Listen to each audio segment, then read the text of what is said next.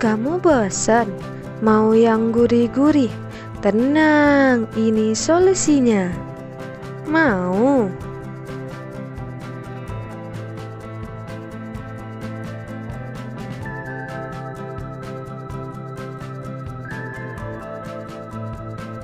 Kue mentok santannya gurih